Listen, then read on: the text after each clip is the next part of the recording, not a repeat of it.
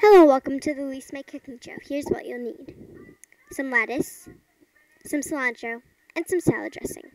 So, first, what I'm going to do is I'm going to put the lettuce into the bowl.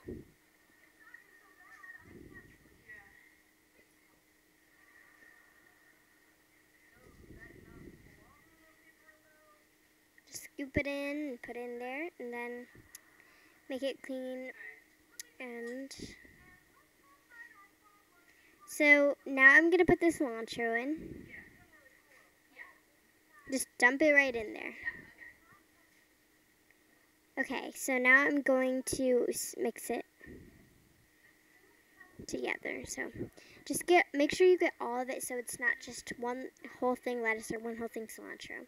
So now I'm going to add the salad dressing and it's going to taste really good. So just pour it right in there and that should do it. Make sure you get all of it. And then what I'm going to do is I'm going to stir it all up. So it's get the full taste of it and so it's not all lettuce or cilantro or just dressing like I said before. So the last part is for me to try it. Let's taste it. Ugh, that's delicious. Now, folks, you should try it at home. Thank you so much.